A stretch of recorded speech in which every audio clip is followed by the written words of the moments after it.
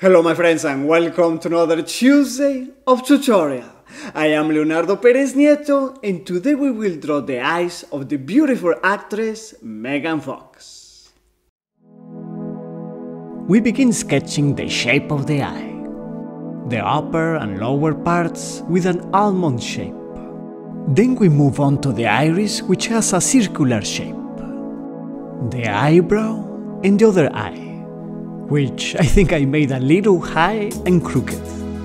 I erase it and laying the pencil in this way we can check the alignment. It actually goes a little bit lower. Like this.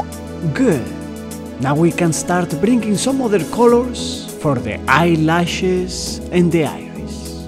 Its external outline as well as the internal by the pupil will be of a dark blue. The pupil of course is black and we will leave a white reflection in a triangular shape. With the same pencil we can do the border of the lid and the lashes. Then some brown over here, that was too much. I erase some of it and then add some pink. The lacrimal in fact goes pink and later we will add to it some red. Good, we should also add some color to the eyelids. We do the brow and then we move on to the other eye. We go over and delineate the circle of the iris and that of the pupil. Basically, we repeat what we have done so far with the first eye, except that this one will be in shade.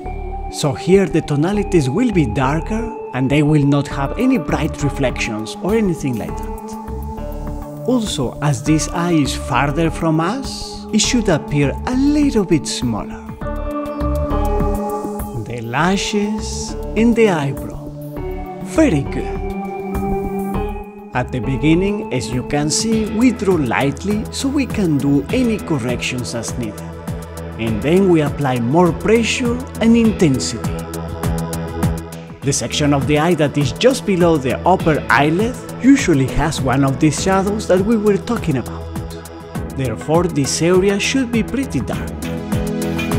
I truly hope I can capture and make justice to Megan's beauty and charm. From this end, let's draw very thin capillaries. She's looking at you. With the white pastel, we can give additional reflections. We do the last details and it's ready.